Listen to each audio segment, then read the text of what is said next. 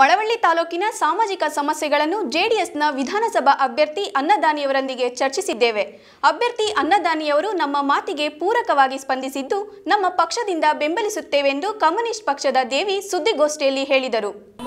CPM ಪಕ್ಷದ ರಾಜ್ಯ ಸಮಿತಿಯ ಒಂದು ಮಾರ್ಗದರ್ಶನ ಮೇರೆಗೆ ಇವತ್ತು ನಾವು ಜೆಡಿಎಸ್ನ ಬೆಂಬಲಿಸ್ತಾ ಇದ್ದೀವಿ. ಜೆಡಿಎಸ್ ಪಕ್ಷಕ್ಕೆ ಇಡೀ ಮಳವಳ್ಳಿ ತಾಲೂಕಿನ ಎಲ್ಲಾ ಸಾಮೂಹಿಕ ಸಂಘಟನೆಗಳು, ಸಿಪಿಎಂ ಪಕ್ಷದ ಸದಸ್ಯರು ಮತ್ತು ಎಲ್ಲರೂ ಸಹ ಒಂದು ಬೆಂಬಲಿಸಬೇಕು, ಅದಕ್ಕೆ ಮತವನ್ನು ಹಾಕಬೇಕು ಅಂತೇಳಿ ಮೂಲಕ ನಾವು ವಿನಂತಿಯನ್ನ ಮಾಡ್ತಾ ಇದೀವಿ ಮಳವಳ್ಳಿಯಲ್ಲಿ ಪತ್ರಿಕಾಗೋಷ್ಠಿಯನ್ನುದ್ದೇಶಿಸಿ ಮಾತನಾಡಿದ ದೇವಿ, ಮಳವಳ್ಳಿ ತಾಲೂಕಿನಲ್ಲಿ ಹೆಚ್ಚಿನ ಬಡತನವಿದೆ. ಆರೋಗ್ಯ ಮತ್ತು ಶಿಕ್ಷಣದಲ್ಲಿಯೂ ತಾಲೂಕು ಬಹಳ ಹಿಂದುಳಿದಿದ್ದು ಜನ ತೀವ್ರ ಸಂಕಷ್ಟದಲ್ಲಿದ್ದಾರೆ. ಜನರಿಗೆ ಶಾಂತಿ ಮತ್ತು ಸಹಬಾಳ್ವೆಯ ಬದುಕು ಬೇಕಾಗಿದೆ. ಈ ಎಲ್ಲ ಸಮಸ್ಯೆಗಳಿಂದ ಮುಕ್ತಗೊಳಿಸಿ ತಾಲೂಕನ್ನು ಮಾದರಿ ತಾಲೂಕಾಗಿ ಮಾಡಬೇಕಿವೆ ಎಂಬ ನಮ್ಮ ಹಕ್ಕೊತ್ತಾಯಕ್ಕೆ ಜೆಡಿಎಸ್ ಅಭ್ಯರ್ಥಿ ಸ್ಪಂದಿಸಿ ಕಾರ್ಯರೂಪಕ್ಕೆ ತರುತ್ತೇವೆ ಎಂದಿದ್ದಾರೆ. ಹಾಗಾಗಿ ಈ ಬಾರಿ ಕಮ್ಯುನಿಸ್ಟ್ ಪಕ್ಷವು ಜೆಡಿಎಸ್ಗೆ ಬೆಂಬಲ ನೀಡಲು ನಿರ್ಧರಿಸಿದೆ ಎಂದರು. ಸುದ್ದಿಗೋಷ್ಠಿಯಲ್ಲಿ ಮುಖಂಡರಾದ ಪುಟ್ಟಮಾದು ಸುಶೀಲ ಬಸವರಾಜು ಸೇರಿದಂತೆ ಕಮ್ಯುನಿಸ್ಟ್ ಪಕ್ಷದ ಕಾರ್ಯಕರ್ತರು ಮತ್ತು ಜೆಡಿಎಸ್ ಬೆಂಬಲಿಗರು ಉಪಸ್ಥಿತರಿದ್ದರು.